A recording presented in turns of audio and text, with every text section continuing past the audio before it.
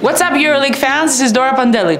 Welcome to another EuroLeague Pick Empire by ArduPrime. Are you ready to go over some remarkable performances from round 29 and of course to talk about all the playoff possibilities for this upcoming round?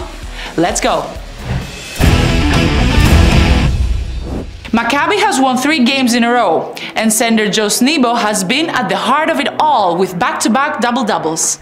He has collected at least 10 boards in three of his last four games, and his 14 in round 29 against Basconia were the most of any other player in the round.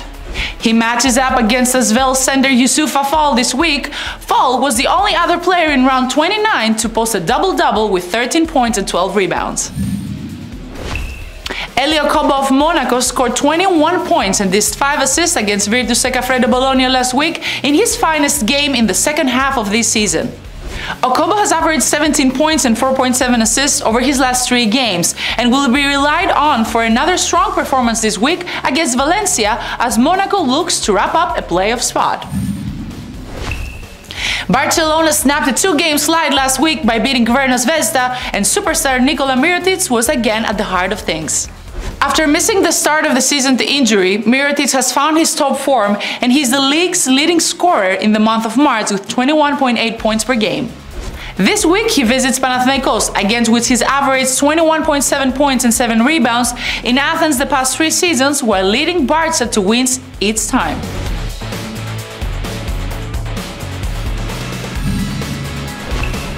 Now let's talk about the playoff possibilities of round number 30. The timing of when this is published is relevant here because Real Madrid will have clinched the playoff spot on Tuesday night if Fenerbahce loses against Milan. If Milan wins, Real also advances if it wins on Friday in Bologna or even earlier if certain other teams lose. Now Barcelona can also advance with a win in Athens or if other games go its way. Monaco is also knocking on the door of the playoffs this week, but will need to beat Valencia as well as having other results in its favor. Only one game in round 30 pits two teams in the playoff zone against each other, and that sees top-ranked Olympiacos goes into the Stark Arena to face Partizan.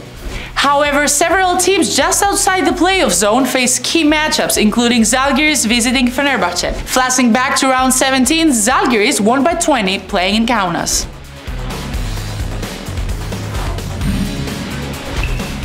Last but not least, let's talk about the EuroLeague MVP race where Vezenkov has plenty of arguments in his favor. After all, he has already been named the EuroLeague MVP of the month twice this season. Vezenkov leads the EuroLeague in three statistical categories. He is the top scorer of the competition with 18.2 points per game, in addition to ranking first for rebounds with 7.2 rebounds per game and being the runaway leader in performance index rating with 22.9 points. Most importantly, he made sure with his performances that his team Olympiacos would be the first team to qualify for the playoffs, and that is also quite an accomplishment as well.